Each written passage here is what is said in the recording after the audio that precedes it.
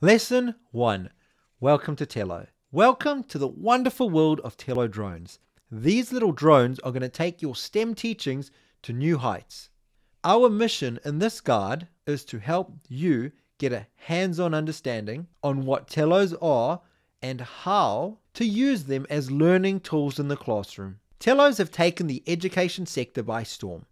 A STEM or STEAM aligned device that engages students and challenges teachers.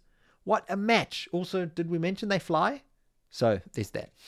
The DroneBlocks team is extremely excited to walk alongside you on this learning journey.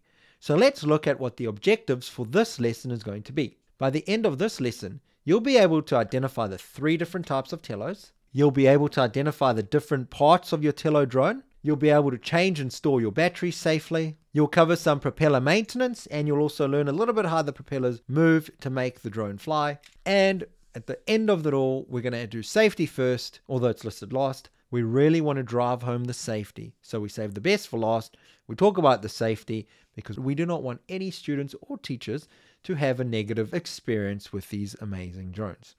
So let's get into the first lesson.